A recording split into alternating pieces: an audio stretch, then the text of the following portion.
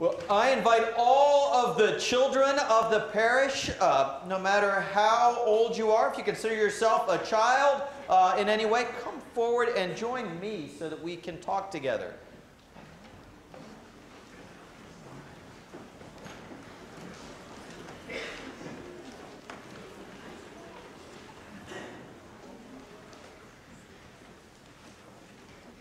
So I think Miss Taylor's the oldest one who thinks she's a child. So that's his.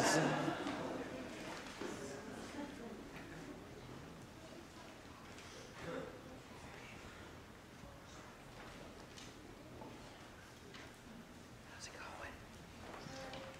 Hi there. How are you guys today? You can take a seat. You want to take a seat? Yeah, perfect. Perfect. Well, It's good to be with you guys today. It's kind of a little rainy outside, isn't it? So that's a perfect place to be when it's raining outside to come to church, don't think? I think so.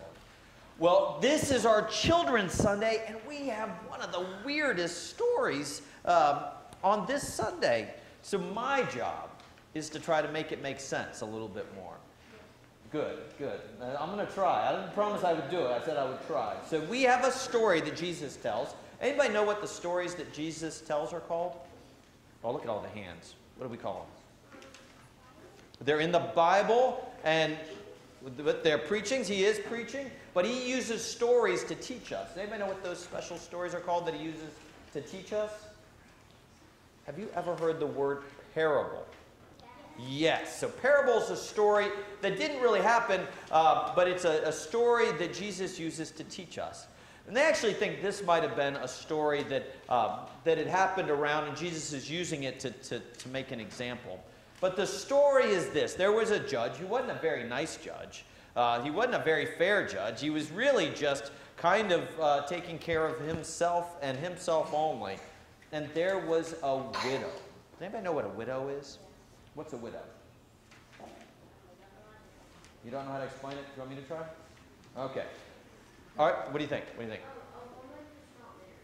A woman, yep, whose who, uh, whose husband has died, um, and uh, and they really had nobody to take care of them way back there, uh, that a long, long time ago.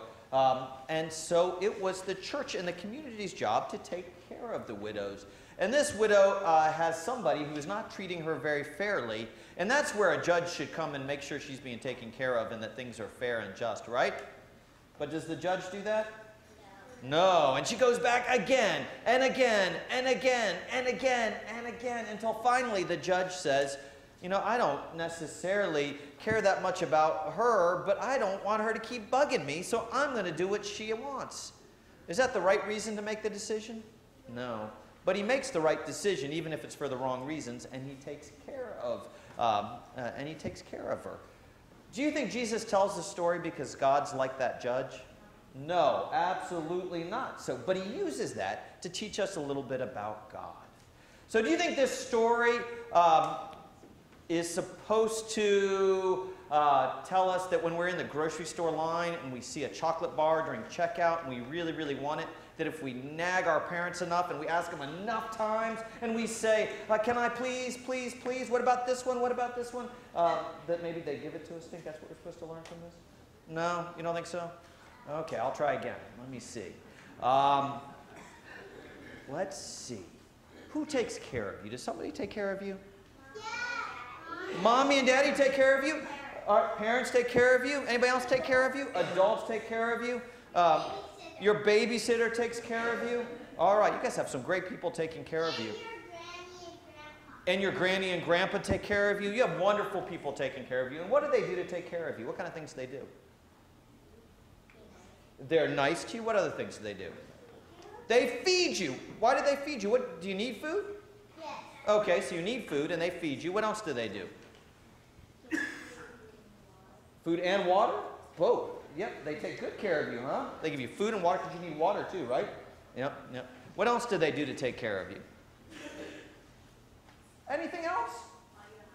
You guys all look pretty well dressed for a rainy day, right? Did you did you have to sew your clothes today so that you had clothes to wear?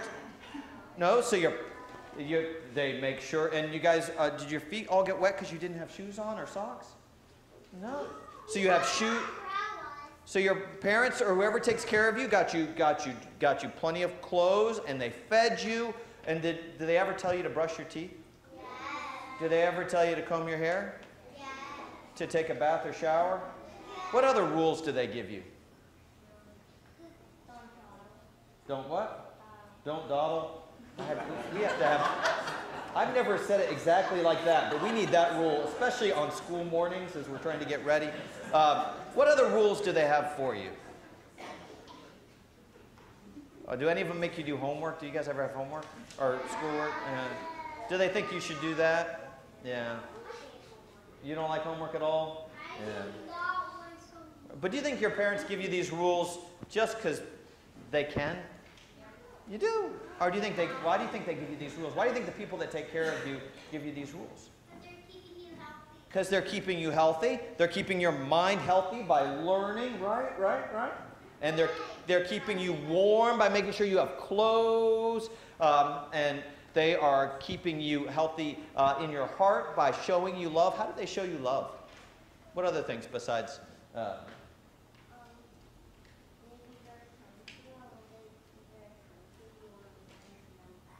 Absolutely. And do they teach you how to take care of other people too? Do they teach you things like that? Uh, like how to treat other people?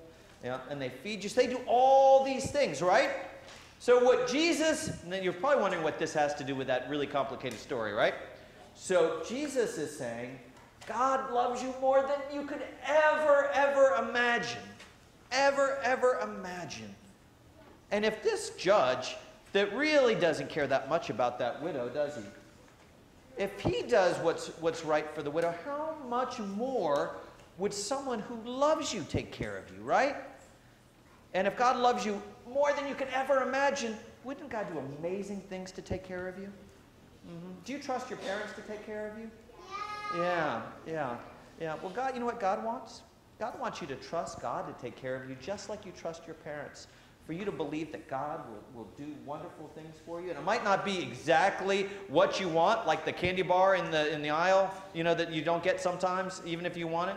Uh, but God will take care of you. So God wants you, even if it doesn't look like you're getting exactly what you want. Sometimes uh, you pray for things uh, that you really, really, really want, uh, but God gives you what you need.